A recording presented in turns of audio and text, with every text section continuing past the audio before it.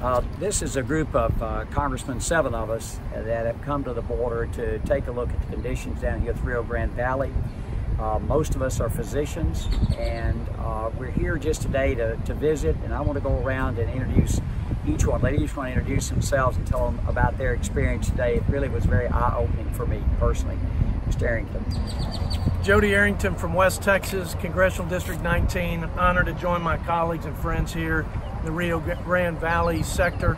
Uh, the most active part of uh, uh, the, the fight against this uh, open border situation that we have and the fight to provide humanitarian aid and assistance to folks uh, who've come here and made the dangerous trek uh, to come here with their families. Many of them, I think at this point, we're seeing more families here uh, than individuals.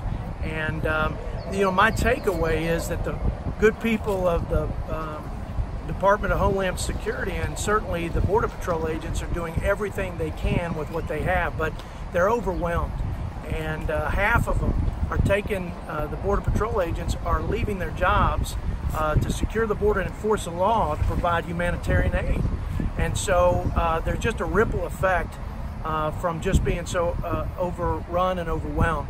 And, and, and one of the takeaways for me is while they have a good attitude, I think it's discouraging to know that the root causes are not being dealt with. Uh, that the, the loopholes, uh, the, the magnets that are, that are bringing people here, and the lack of border security, um, and these are, these are issues that every member of Congress, Republican or Democrat, are well aware of. And uh, it's really about the political will to do something about it. I know these gentlemen are committed, um, um, but I'm concerned that uh, the Nancy Pelosi led House is not committed to it. The only bill that, that they've passed, that the Democrat leadership has passed, is a bill to grant amnesty to folks who are here illegally. Instead of working to put American people first, our citizens, to provide security and make sure that we treat people humanely with respect and dignity consistent with American values when they're here. And I'm telling you, these folks are doing everything they can, uh, but we've got to stop the root cause of this illegal immigration. But I'm honored to be here with my colleagues. Yeah, Brad Wenstrup from Ohio, and I think what I've taken away from this trip today is that we have seen many great Americans from Border Patrol, Homeland Security, that are doing work beyond what they would be expected to do. And, and art of taking care of people and the art of taking and making sure that this country is safe and, and weeding through the dangers and taking care of those that are in need. And they're short on supply, they're short on personnel, but they are doing a phenomenal job in taking care of those that are sick and those that need care and keeping people healthy as they go through this process, a process that is overwhelming our border right now. Neal Dunn, Florida's second congressional district. You know, President Trump said that there is a humanitarian crisis down here on the border, and he's said it for over a year now. Finally, I think we can all appreciate he's absolutely correct. There is a crisis down here. And the Border Patrol and ICE agents, they are doing heroic efforts down here to keep these refugees safe and healthy against the long odds and with very short supplies. I've been utterly convinced, it's all doctors, have been totally convinced these people very best medical care that they can do far beyond what they can do with the, with the support that we give them and the best medical care these refugees have ever had in their life. Roger Marshall from Kansas. I had the honor to come to this border a year ago. It was a crisis then, and it's multiples worse now. And would agree with the, uh, the fellow uh, doctors up here that we're doing everything we can. Our Border Patrol is doing everything they, they can to give the very best of care to everybody. And the President is right, Neal, that if we don't build the wall, if we don't secure the border, this, this flood uh, is just going to continue and get worse. Uh, above all, I learned how important security is. Border security is our country's biggest national th security threat.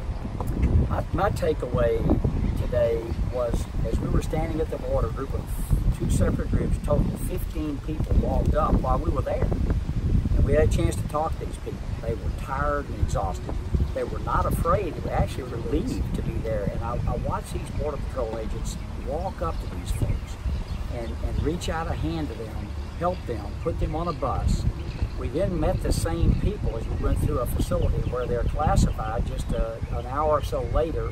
They were being fed and taken care of. That's what Americans do, and we do it better than anybody in the world.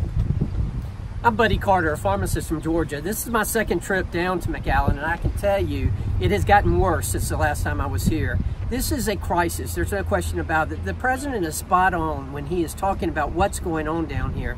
I could not have been more impressed with the professionalism that's been exhibited by all of the, Department of Homeland Security officials who are here and all the the people who are working down here. Let me tell you, particularly when it comes to healthcare and particularly when it comes to healthcare for the children, many of these children, most of these children, if not all of these children, are getting the best healthcare they've ever had in their life. I'm very proud of what we're doing down here.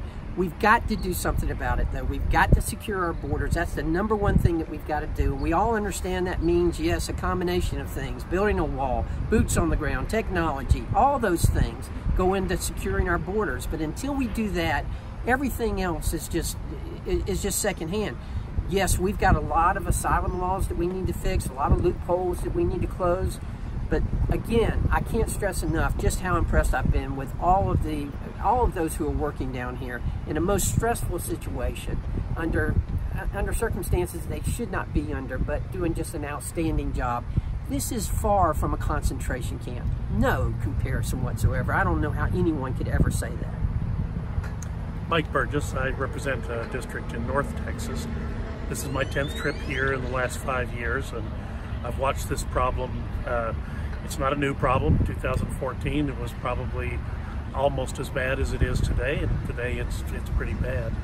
I think, uh, of course, just a little over 24 hours ago, we passed a major funding bill that the president had asked for, money that he needed for his agencies, and Department of Homeland Security, Department of Health and Human Services, to be able to continue this humanitarian relief on the border.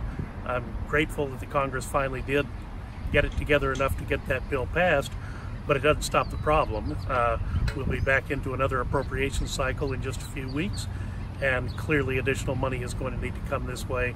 We need to give the president the money he needs with the flexibility that the men and women of the Customs and Border Patrol need in order to do this job and do it right.